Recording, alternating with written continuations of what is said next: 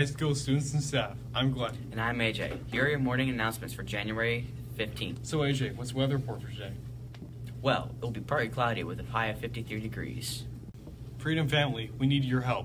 A five year old boy from the Lehigh Valley named Ernesto is battling cancer right now and has been in the hospital since July. Please stop by the table outside the lunches every day this week to write an inspirational message on a card for him and support him and his family through his fight against cancer. Congratulations to Mrs. Ackerman and Mr. Renock, who have been chosen as featured artists by the Bethlehem House Contemporary Art Gallery. Their works will be on display from January 31st to April 4th. Make sure to stop by to support the FHS staff. Make sure to follow the FHS forum on Instagram and Twitter to cast your votes on who you think the, the FHS Masked Singer was on Monday's newscast. You have a chance to win a $5 Dunkin' gift card if you guess correctly. Voting will close on Thursday, and the drawing will be on air on Friday's newscast. There will be a meeting for anyone who's interested in participating in spring track on Wednesday, January 15th at 2:35 in room 705. Attention all basketball fans. The BSC Marathon is hosting a raffle for a chance to win two tickets to an upcoming Sixers game. Raffle tickets are $5 and they'll be sold at lunches all this week and at various Freedom sporting events. A winner will be chosen from Freedom students, so don't miss out on this awesome chance.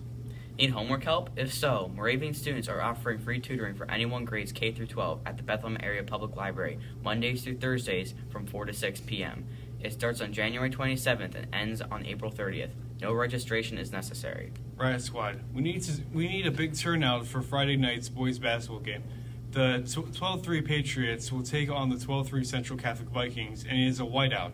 The first 50 students to walk through the doors will receive a free white t-shirt. Come out and support the team this Friday at 7 p.m.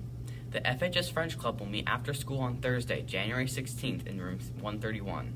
Free athletic physicals will be held on Wednesday, February 12th at 5 p.m. to 7 p.m. in the Ox Gym. Packets are in the athletic office. If you have already turned a packet for a fall or winter sport, you only need a Section 7 recertification form for your spring sport. Make sure to follow Dr. Roy on Twitter at BASDSUPT to get notified for delays and closings as we approach more inclement weather. Before we hear what's going on with sports, let's head over to Anna for some Freedom Forum fun. Hi guys, I'm Anna and welcome to Freedom Forum Fun. Today we're going around asking people if they could be any superhero or supervillain, who would they be and why? So let's see how this goes. Hello, I would like to be Superman. I grew up watching Superman. He is totally indestructible except for the kryptonite, but I believe there isn't any kryptonite on the good earth, so therefore I would love to be Superman.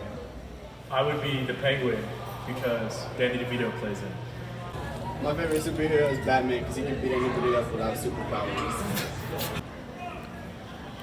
My favorite superhero is Superman. It's really strong.